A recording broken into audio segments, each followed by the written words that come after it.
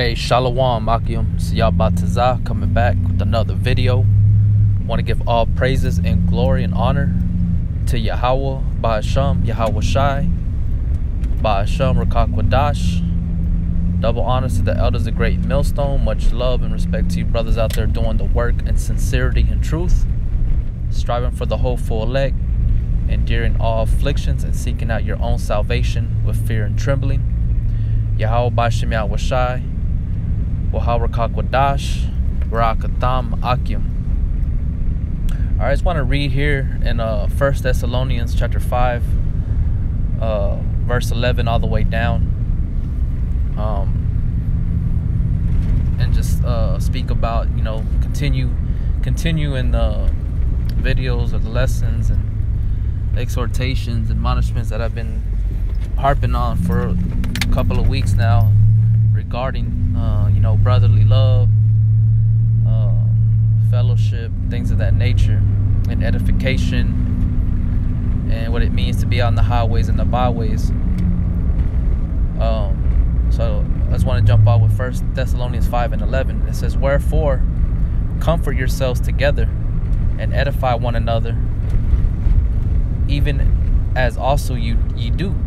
Okay, which that's what we're doing so it's a it's a continuous thing that we have to continue making videos, um, which are e- electronic epistles. You know, to encourage brothers that are in need. Um, you know, go into the spirit to help certain brothers out there. You know, to encourage them to to lift themselves up, to know that they're not alone.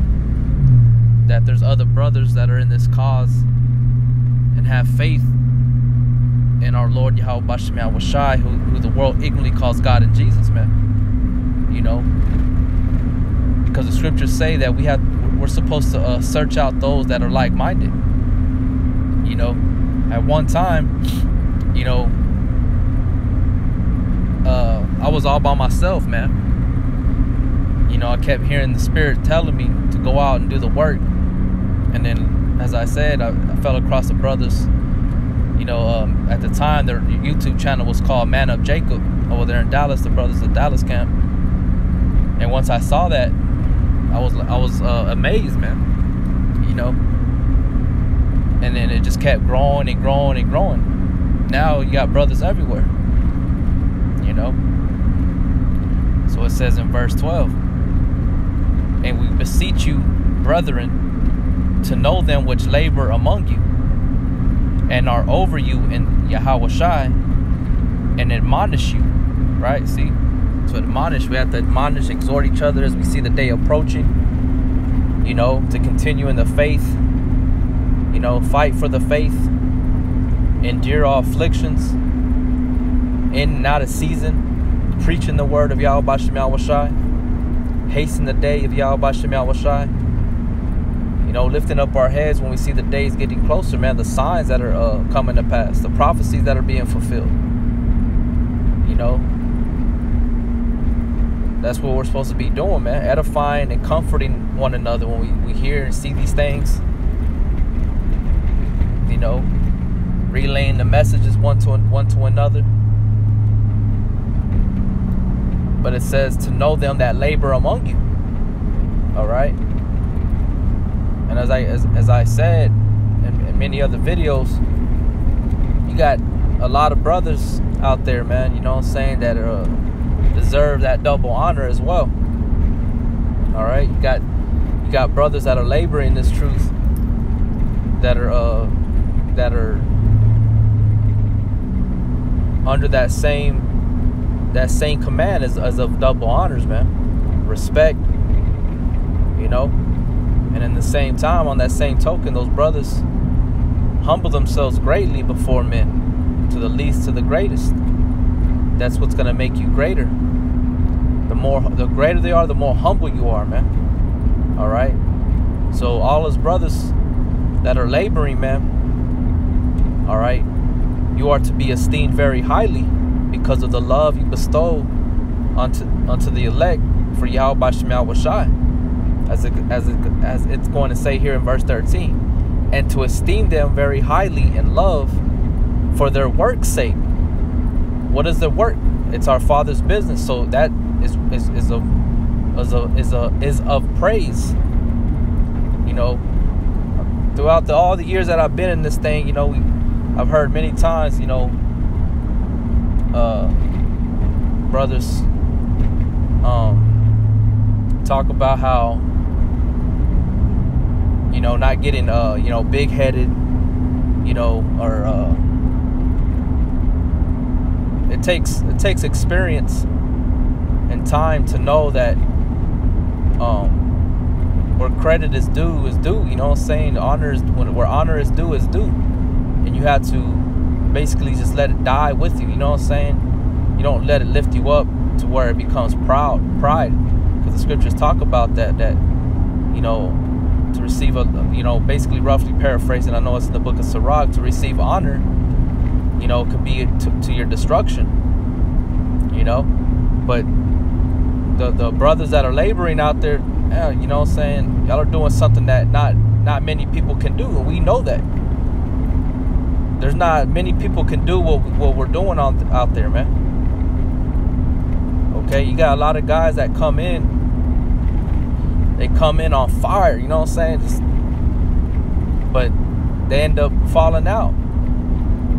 You know, brothers honoring these certain men not not not considering the time, you know, not considering, um, you know, just not not not being considerate. I've seen a lot of guys that have been on fire in this thing, and they end up falling out, and end up uh, um, causing division amongst brethren or fighting amongst the the the body. But those men were highly esteemed but you got all these other brothers that are uh, of a lowly spirit, quiet spirit, the things that uh, you would consider feeble. But those are the, the greater things that Yahweh Shemiah has spoken of to Paul in the, in the, the book of uh, Corinthians, man. When he goes, when you go into reading about the body, you know, I forget what chapter it's in, but brothers should know what I'm talking about. All right it says in verse 14, Now we exhort you. See, we have to admonish and exhort one another as we see the day approaching.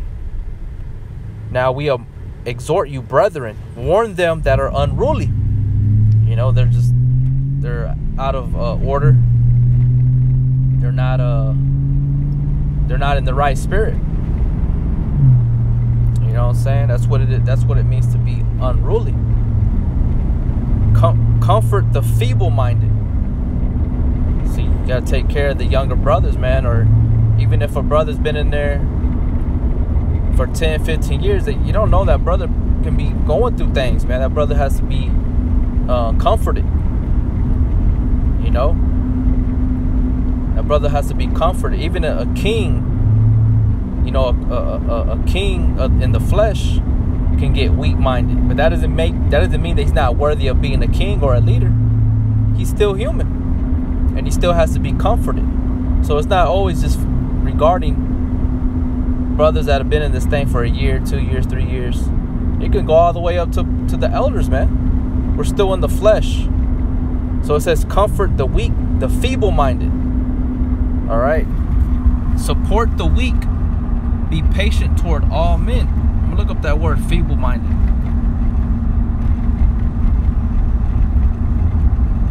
Alright?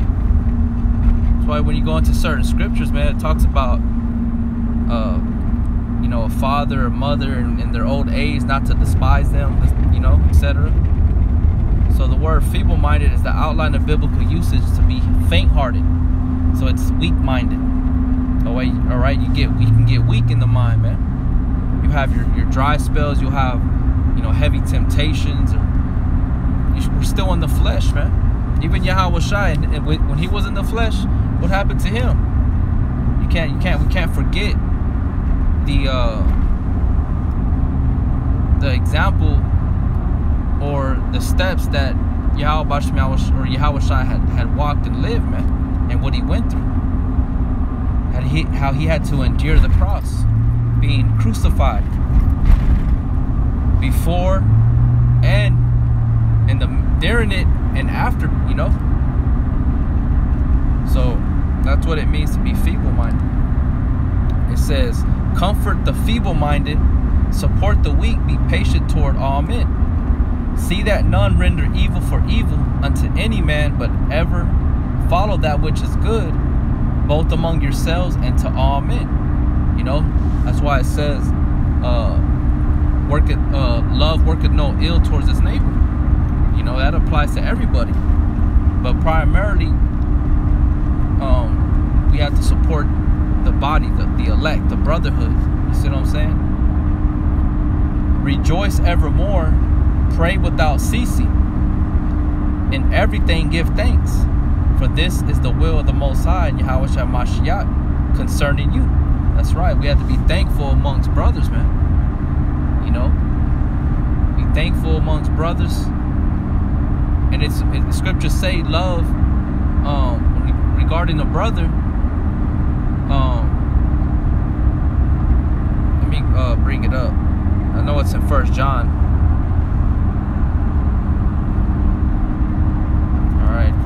First John, uh, First John chapter three, verse eighteen. My little, let me bring it up. Uh, just real quick. First John three and sixteen. Hereby perceive we the love of the Most High, because He laid down His life for us, and we ought to lay down our lives for the brethren. But whoso hath this world's good and seeth his breath his brother have need, and shutteth up his bowels of compassion from him, how dwelleth the love of the Most High in him? My little children, let us not love in word, neither in tongue, but in deed and in truth. You see that? So, um, just like Yahweh Shai said, they show much love with their lips, and they honor me with their lips, but their heart is far from me. Their mind ain't on Yahweh Bashem Yahushua. That applies to a so-called brother. You know?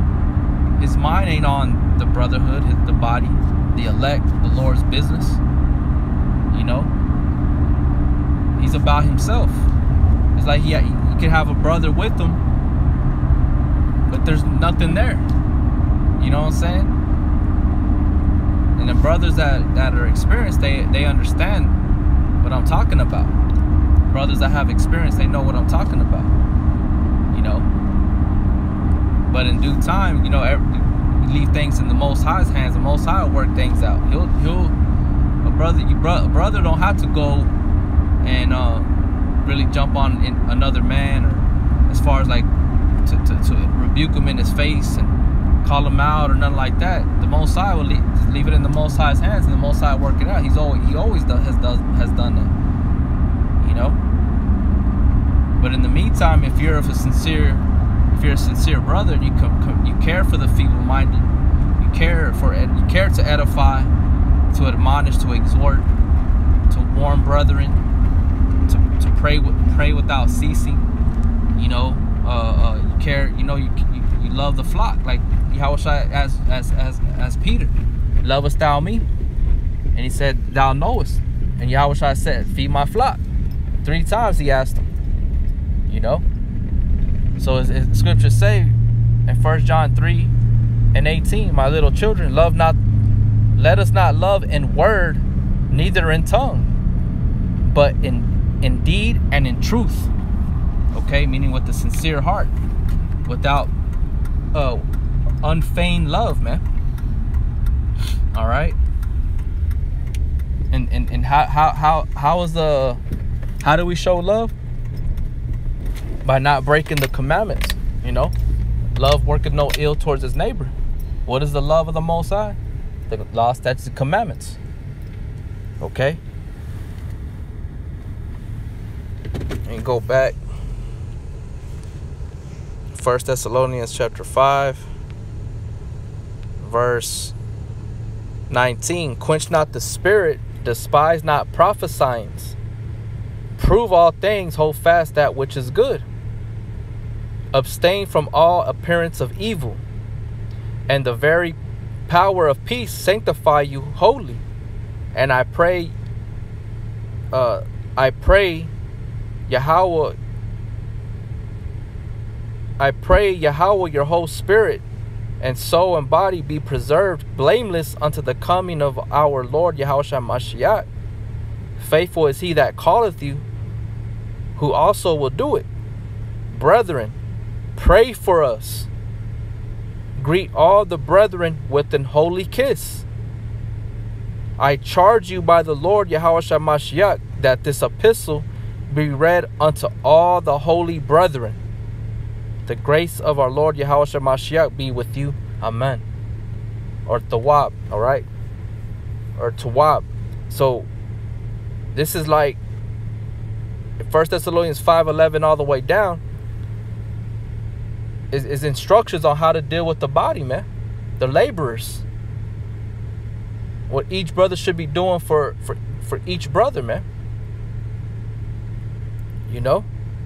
And how we're, we are to look towards one another, how we are to acknowledge one another. Not doing all this, you know what I'm saying? I, I, I'm not trying to cuss. Not doing all this favoritism thing. You know what I'm saying? That's what they do in the world, man. When we're we're in the body of Yahweh Bashem Yahweh You know? And that's the one thing I've always saw and I I still continue to see it to this very day. All right? And it's something that um, each and every brother would have to work on, you know. But until then, through the spirit and power of Yahweh Shai, the instructions are here for us paved out. And we can't lie against the truth, you know. We can't lie against the truth, you know. You gotta uh continue to push hard with this with this in this in the spirit, man. You know, right here, this is a perfect little uh, uh, precepts to go into how dealing. You know, brothers should deal with one another. You know, like in verse twenty-five, it goes straight up. Brethren, pray for us. Greet all brethren with a holy kiss. All right. And it's a charge, it's a command I charge you by the Lord Yahweh that this epistle be read unto all the holy brethren. All right? Gotta highly esteem one another, man. You know? What does that mean? You put the brother before you. All right? So, with that, hope it was edifying.